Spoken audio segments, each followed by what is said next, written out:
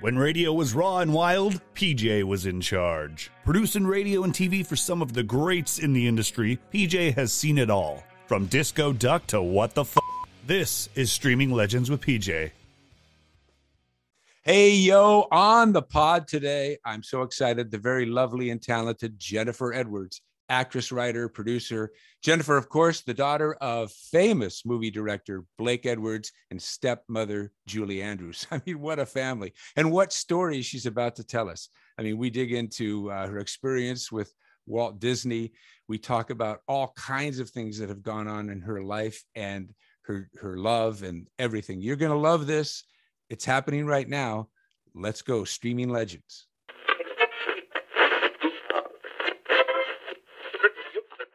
All right. I am so excited to have not only my friend, but the very lovely and talented Jennifer Edwards here with us. How are you?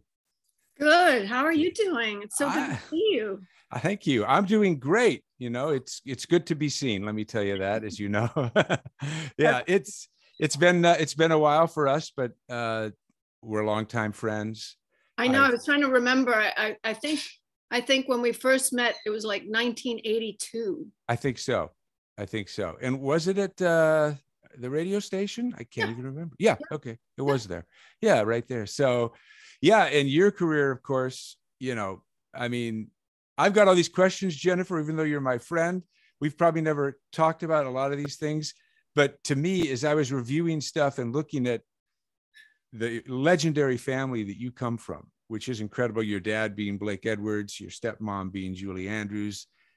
The first thing that came to my mind is, you know, because I thought of myself in that role. I said, how would I make myself stand out in a family like this? I mean, there's Oscar winners all around you, Grammy winners. I mean, all this stuff going on, but yet you kept your head. You did your own thing. You amassed an amazing career of movies and TV stuff, which we'll talk about some of that. But and you did it all like just like a normal person. I mean, it had to be hard to do.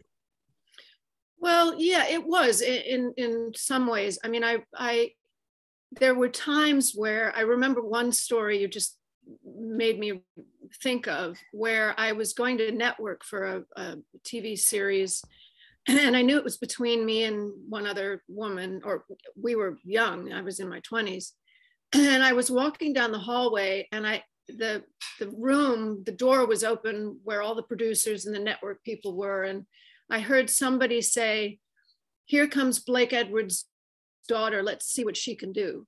Ah, and I and I literally stood in the hallway and I just sort of froze because I I thought you know it shouldn't come down to to that. It, you know I mean I was already there in front of the network for a reason. And um, you know who my dad is or was shouldn't really play a part in you know who i am and and yeah. it, it, really kind of took me aback um, yeah no i mean I imagine that's what came to my head because you know you're looking at your dad who's done probably the most or some of the most famous movies ever you know the blake the blake edwards name is amazing and it stands out with with uh, Peter Sellers and all the great movies, the Pink Panther series and 10 of course Bo Derek and all these like legendary movies that everybody still talks about to this day and of course they just carry on. Yeah. And so yeah, that to me would be like something that would be hard to overcome but yet then I found out about you because you keep it to yourself.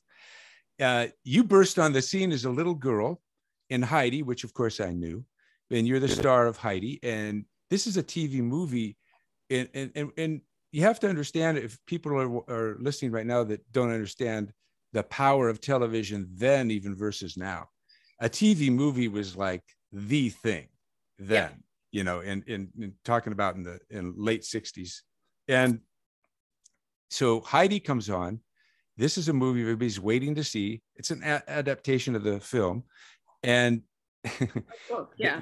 Yeah. And they play it. It starts at seven o'clock and it interrupts one of the biggest NFL games of the time, right?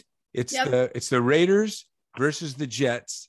And it's uh, I think there was like a minute five left, and the score, the Raiders had just scored. It's 32 to 29. Joe Namath is the quarterback of the Jets. and these guys, these two teams were battling for first place. And and here's the kicker: there were three more scores when they cut off that game with a minute left and went to Heidi, your movie, and people went crazy. All the NFL crazy. people, of course, right?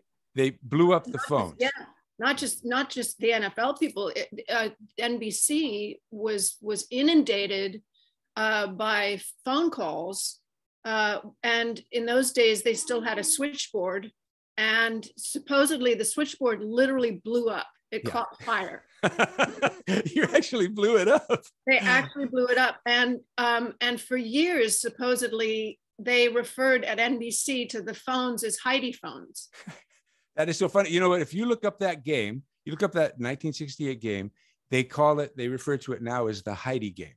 Yep. Because, and that actually, I think, became a rule that the NFL said, based on that, they said, you can never, if we give you a game, you cannot interrupt it for a for a production of any kind. So exactly. I mean, you you found a way, little you, it, it, the little tiny girl that you were, to burst on the scene and get your own credibility it, good or bad, you got it, you know, right. and and uh, in a family like yours. So that's what stuck out to me. And I went, wait a minute, I didn't even know that story. That's an incredible story. Yeah. You know. Yeah. You, and, well, I always say that. Well, actually, Howie, I have to give Howie Mandel credit because years ago he said you were you were a great moment in sports. So I I always said that, that will be on my tombstone. She was a great moment in sports. you were, but you were also a great moment many other things. Star Trek, Next Generation. I mean, you've done a fine mess, SOB, so many movies. Some of them were your dad's movies, some weren't, but you met so many huge stars. And I have to ask you, because I'm a huge fan of the Peter Sellers thing. And I just, I was crushed when Peter Sellers died.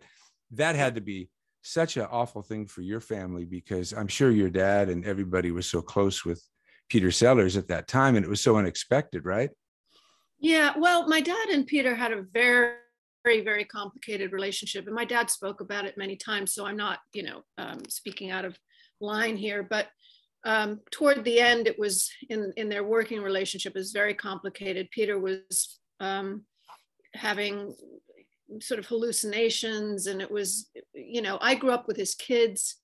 His son Michael was my first sort of boyfriend when huh. I was 13, and I mean, so the whole Sellers Edwards family. Sarah, his his daughter, and I are still very close. And yeah, um, you know, uh, it was they, they finally kind of um, managed to um, rekindle, if you will, a little bit of a relationship about a year before Peter actually died, um, which I think meant a lot to my dad um, because it, it, it really was very um, hostile in a lot of ways when they would, were working together on the last few Pink Panther movies.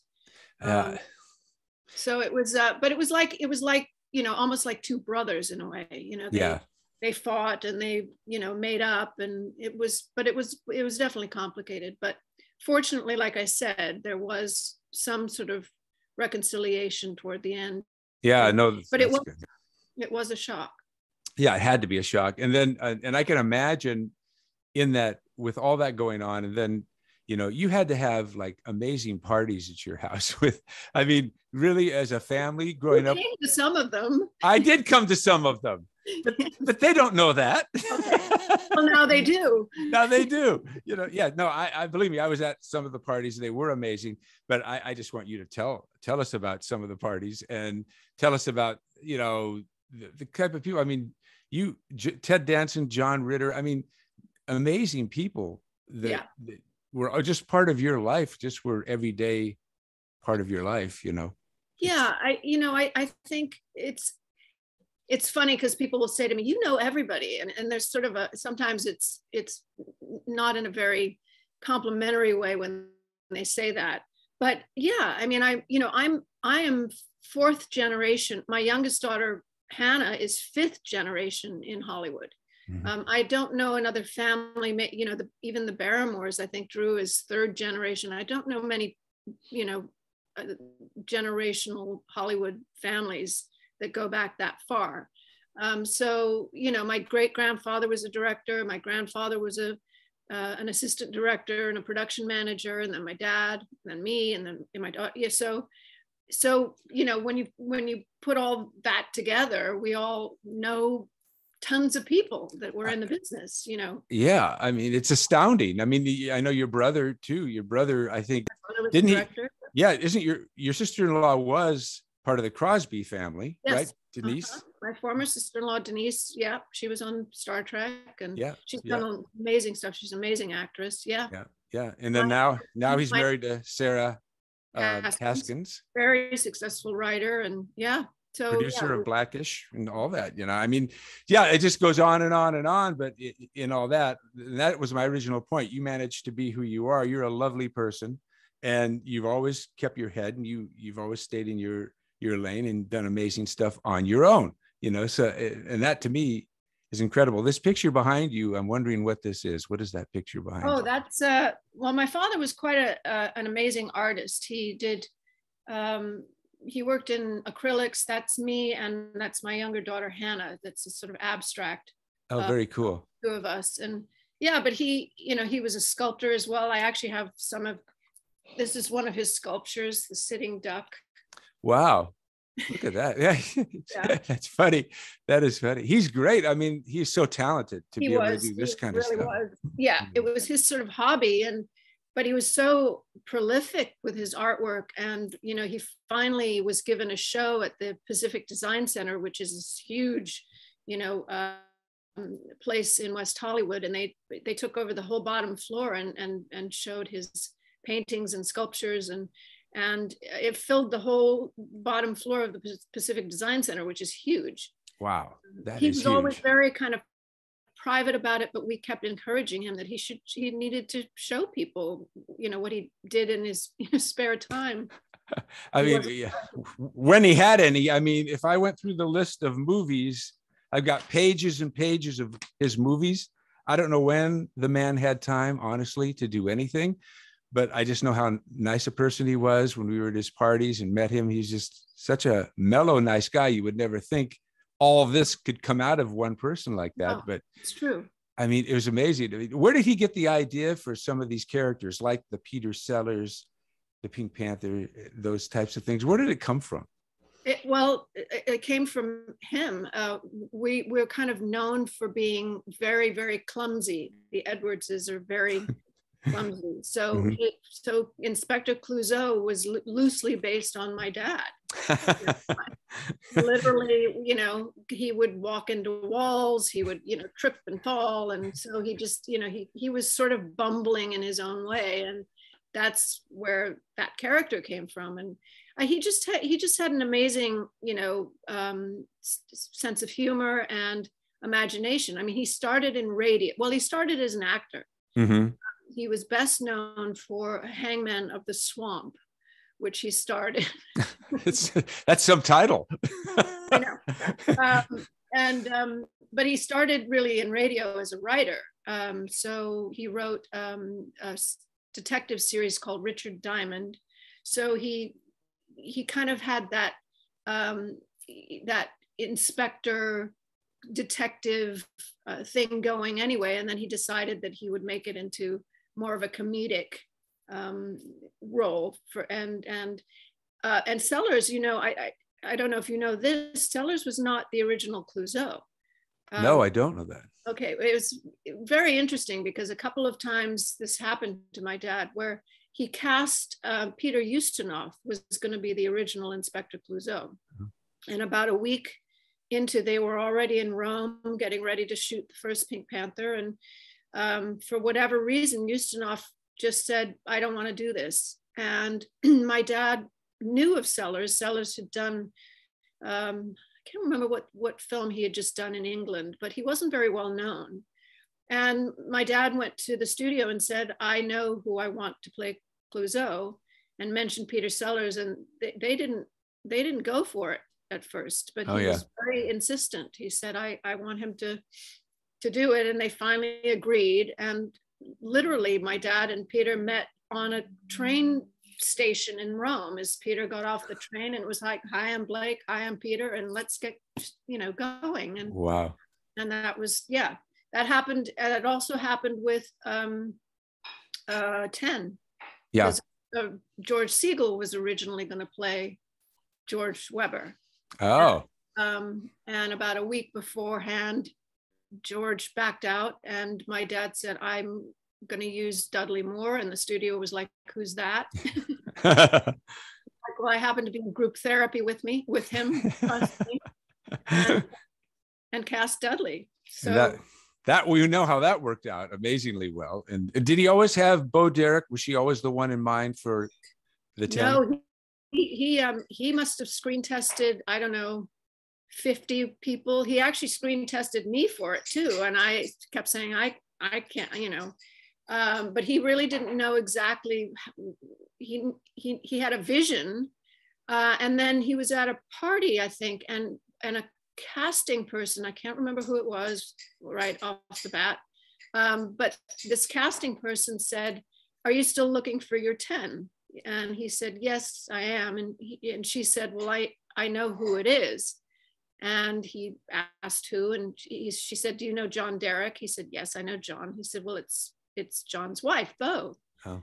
And uh, my dad said, "Well, do you know how to get in touch with her?" And and anyway, the next day, Bo walked into his office, and they sat down and talked for a little while, and then she left, and my dad picked up the phone and called my stepmother and said, "I found my ten."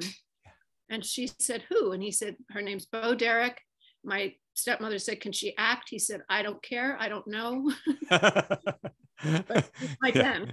She's a 10. That's all you needed to know. And he was right. I mean, she Definitely. was. I mean, amazing. And Julie Andrews, whom you're speaking of, of course, amazing story. And her movies with Disney and The Sound of Music and uh, all of the great films that she did, you know, did uh, did she ever get to, did you ever get to meet Disney? Walt Disney and have him over anything? Well, uh, ironically, you know, when I not through through her, when I was uh, about five or six years old, um, I had a lemonade stand. Um, uh, we we lived in Beverly Hills, and I had a lemonade stand like on the weekends. And uh, Walt Disney was one of my um, clients, if you will. he, literally, he, literally, would come to my lemonade stand and buy some lemonade from me. Oh, that's great. Yeah. I met him, but I didn't, I, you know, I didn't even know really who he was. He was just, a, he was a neighbor. Right. You know, I later on learned that, yeah, that's Disney. Yeah. That was, uh, was that probably before Mary Poppins and all that with mm-hmm. Julie or yeah. And then just about the right, this, it was probably around well, probably within like a year of, of Poppins, yeah.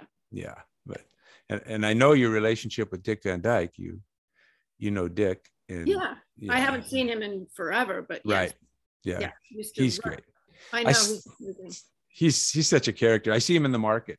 Right. And he still dances around, and I mean, he's great. He's incredible. Yeah. You yeah. know. yeah it's just it's a uh, what a, what an awesome thing though to have like Julie Andrews and your and your dad Blake Edwards and to have all that and your brother and your sister I mean it really is a legendary family you know and I know that you um, you have done writing too. You you've written, you know, you, I, I, think you wrote a children's book too at one time, didn't no, you? my my no, my my sister Emma and my my my stepmother, um, they write the children's books. I write the erotic books. ah, tell us about that. well, actually, it's funny that you mentioned it because I had actually had uh, this. This is my first novel, um, When Angels Cry.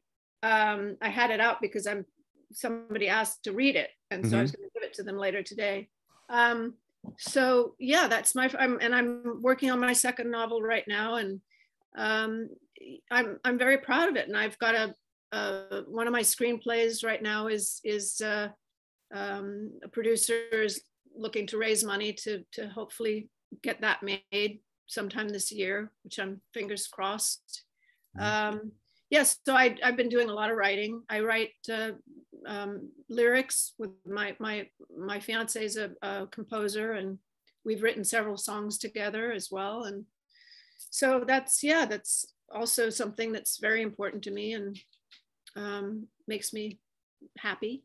do, do you find that how does that differ for you in feeling as versus like acting in a role or versus writing on your own writing is very singular and it's just you and you know yeah i i miss uh, you know i acting is my is you know is in my dna i that's that's where i always want to go back to basically. I, I i love performing. I did a play a few years ago and just being on the stage again and being in front of an audience was just you know so exhilarating and reminded me how much i love performing. Um, writing screenplays is fun too because i get to in my head be all these different characters. Mm-hmm. um, so in a way it's it's like acting um, on paper. Um, writing a, a, novel is not so easy uh, you know um, but yeah. but it's very rewarding once you finish. Yeah. Are these topics for your novels that you've had in your head for a long time that you wanted to do? Um the one that I'm working on now, yes, because it's based on on an incident that I saw years ago that really kind of uh, shook me to the core. I always uh, wondered it was based around a suicide, and um, and I always wondered what what you know brought this person to do what he did, and um, and and you know well you'll you'll read it. Yeah yeah yeah i want to read it that's yeah the, but the the first book when angels cry was just one of those um, i wanted to see how it felt to write a book. So basically i i kind of cheated. I thought okay well i'm going to make my character a, a romance novelist because mm-hmm. that's what i thought. I'd write a romance novel because you know i knew i couldn't write the grapes of wrath. Yeah. Um, I decided to make the lead character also a romance novelist, so I could kind of delve into her her psyche, if you will. And um, I, I, was really proud of it. I'm, I'm still really proud of it. People, you know, really resonated with it, and it's funny, and it's and it's you know sad at times, and and it's it's an easy read. I've had people say that you know I don't usually read. I'm not a reader, but they'll sit down with that and and they'll call me or whatever and say i read it in one sitting you know so that was kind of what my you know objective yeah. was you know. Well you have that brain where you're able to connect like that and so it's it's very easy to read i'm sure because you're thinking of it as a movie in your head probably or something you know you're putting it together that way. So it it makes it those types of things are fun for me to read. I enjoy that type of writing you know, yeah. and it, it makes it fun and easy to read, you know, but you had to have yeah. some, some, uh, with all the characters you've been with and, you know, the John Ritters of the world, the Ted Dansons of the world, all these people. I mean, any, anything really stands out to you that happened when you were filming, you know, Howie Mandel, any of that that just was kind of off the wall and that would. Well, yeah. I mean, you bring up Howie, I brought up Howie. I mean, we we all still, Howie's wife, Terry is a good, dear friend. And um, yeah, I, well, Howie and Ted and I, when when we all worked together, I don't know, I really don't know how it began. Uh, my dad was kind of a practical joker, and so is Howie.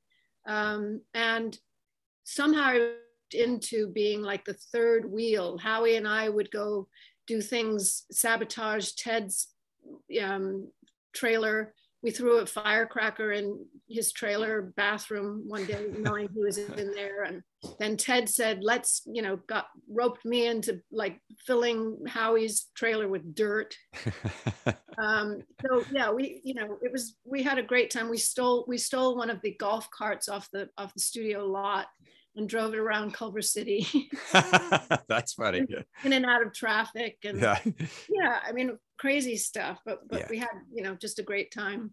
And you uh, and your dad got. I remember at the uh, he was honored at the Oscars, mm-hmm. and mm-hmm. he did that that stunt with uh, James Carrey, mm-hmm. which was which I thought was really funny. He was in a wheelchair, and well, he, yeah, he and he actually was most of the time in a wheelchair um, the last few years of his life but when he was when he was told that he was going to be honored he he told the academy he said i you know i don't want to i it's it'll be hard for me to walk on stage and whatever but he and he just felt like he needed to do something that nobody else ever did and and you know, my dad was known for his comedy, so he arranged to. In fact, the the man who um, who actually was the the double, the stunt double, uh, was a man named Joe Dunne, who was my dad's coordinator for years, and he was Peter Sellers' double, and he coordinated all of my dad's stunts. And he actually just passed away a couple nights ago. And oh no! But he Joe was was actually the man in the wheelchair that crashed into the wall. Um, that, that, was funny. And then your dad came walking out, and I, I love this line because that's a classic Peter Sellers line where he he dusted himself off and he said that felt good. it's very funny. I mean, one of my favorite scenes, and I, I forget it's a shot in the dark or what movie that was, where he fell off the banister in front of all those people. He was exercising. He was doing, he was yeah, he was doing the, the parallel uh, the parallel bars. Yeah, love the parallel bars. That was uh, I think that was uh, Revenge. Uh, Maybe Revenge. Yeah. Revenge. And before, yeah, yeah. I mean, that's yeah, brilliant. Brilliant. Yeah, eh, brilliant stuff. And how did your dad work that out when you know in the in one of the final movies with Peter Sellers still living? He actually passed away during the movie, right? Like 18 yeah. weeks in or months in, whatever it was, and he had to rewrite the story or yeah, I yeah, I think he did. And also there were there were a lot of there was a lot of doubling, and I think there was some um, outtakes or, or different things that he didn't use, things that ended up on the cutting room floor, but he brought back in. Don't really know exactly how he he managed that, but I mean he did. So yeah, yeah, he did it. But I mean that that just had to. I was thinking about that, thinking how that had to throw everybody into a tizzy because there you are with the star of all these movies, and you're in the middle of this one, and all of a sudden something unfortunate like that happens, and you've got to still put your movie together and make it work, you know. And he did it, right. to his yeah. credit, you know, but that's yeah. that had to be a huge undertaking, you know. It was, yeah, sure. Yeah, yeah. And sadly, we lost. I know a friend of yours, Bob Saget, who I think you were going to have lunch with him the week. Uh, yeah, well, we week, we, right? we well, no, he he we emailed. We were emailing right before he went on tour, uh, um, and um, yeah, the plan was when he came back, we would have lunch and you know get together and um, I mean, I I was trying to remember when I first met him too. It was back in the 80s, and you know, we lost touch here and there, and but we always kind of, you know, we well, I I was looking through old e- emails, and we started sort of emailing again in like 2008, and um, he was just, you know, he was just such a, a an amazing human, and um, we we shared uh, a you know, he lost his sister to scleroderma. I lost a cousin to scleroderma. So we had that in common as well. And I don't know, it just, uh, it, it was stunning. Yeah. It was stunning. It was a lot like how, you know, I felt when, when Ritter passed. Yeah. Um, you know, you just, you sort of can't believe it. Um, so yeah, very sad yeah that was it was very sad i i knew him as well and he was always such a nice guy always upbeat friendly you know just just a nice a prince of a guy really you know and just wanting to have fun and always helpful to other people that wanted to get into the business or whatever he was always there you know to help yeah. so it was stunning john ritter was very stunning to me because that was one that i think obviously could have been prevented you know i think that well yeah i mean that's you know um who you know that's one of those um diseases if you will or or, or chronic uh, or or you know congenital obviously uh, issue that you wouldn't know really unless you were you know you had a a, a cardiologist uh, you know uh, uh, that you saw once a year or yeah. whatever yeah. Um, I, I, you know they still don't really know what happened with bobby but um, it sounds like it's you know probably heart or something. Yeah yeah that, well you know um, yeah that's that was sad too you know but listen they're all great stars and they all they all left their mark on the world you know. Your dad certainly left his mark on the world and there's something about your dad. I don't care if it was TV he was doing or if it was movies or whatever, you could tell it was a Blake Edwards production, the way it mm-hmm. was shot. And, and you know, the, the way he always shot everything so cleanly.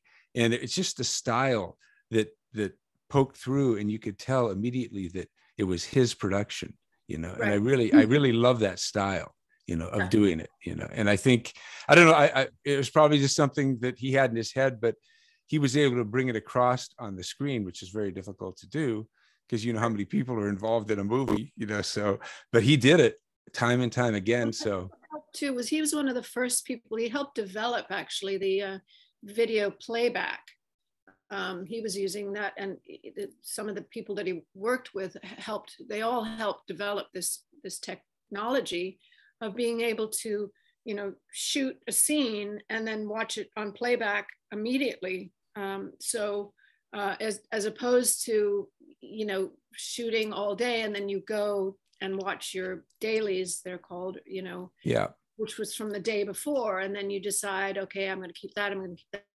whatever.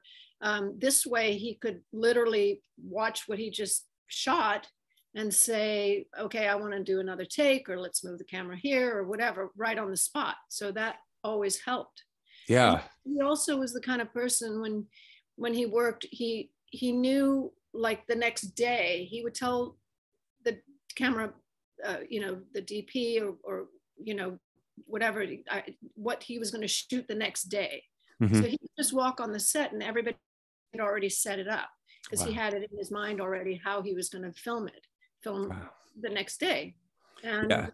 yeah no that's that's legendary. That's what legend is made of. And how was it like for him to work with julie your stepmother when they were doing a movie together? Was it seamless or were there a lot of bickering going on or who was the boss? Um he was but Mhm. not in a not in any kind of you know i mean she would certainly make suggestions he loves he loves he loved actors. Um, having been one he knew what it felt like. So he was always very um, appreciative if actors came to him and said i want to try this or can i do this or whatever and he'd go yeah go for it try it Yeah. you know um, and you know so yes she certainly would would uh, make suggestions and whatever but you know ultimately he you know he mostly directed what he wrote Mhm. so he already knew, you know already had a vision of of how he wanted to look and and feel and all of that uh, right from the get-go. So um but yeah he he they loved working together. It was it was perfect because nobody was on location without somebody you know right. and yeah it was great. And and how was it for you to work be directed by your dad? Was that harder than other people or the same? Well, you know, like I said, sort of in the beginning, I know that to a degree, um, people, you know, want to think that it's all nepotism and all of that. But, and I did say to my dad, I think I said to him when I was probably in my early 30s, and I can't remember what we were working on. Um, and I and I said, you know, do you really feel that that um, that this role is right or something that he asked me to do and and he said look you know i'm not going to make a fool of myself at this time in, in my life. If if i didn't think you could do this you wouldn't be doing it. Right. So it it validated you know that it wasn't just because i was his daughter that i was getting a part. Right. Because you know that he certainly did movies you know where i wasn't a part of or anything. So yeah i mean i you know i think it is it is a it, it is a different sort of feeling when you come from a famous family and you're also uh, you know in the business and there um, had to be a movie where you he did it and you wanted to do it and you went you know what? I could do that role. I could have done that role. He wouldn't give it to me or you didn't try or whatever but you you, you know do you have one of those? No? No, Mm-mm, no. No see i would i'd have like two or three where i go i could do that come on i could do that Yeah, well, I think, you know, I mean, no, I can't really think of any one movie offhand, but uh, I mean, there were times where he, uh, I had written a, a, a treatment and um, he really liked it. And then we wrote the pilot together and it was, a, it was for Disney actually. And um, I wrote the part for myself. Uh, and um, when it came down to wh- where the where Disney wanted to produce it. It was with George Carlin. um, I I actually screen tested, and so did a couple other girls, um, because I didn't want to just assume that just because I wrote the part, I was going to get the part.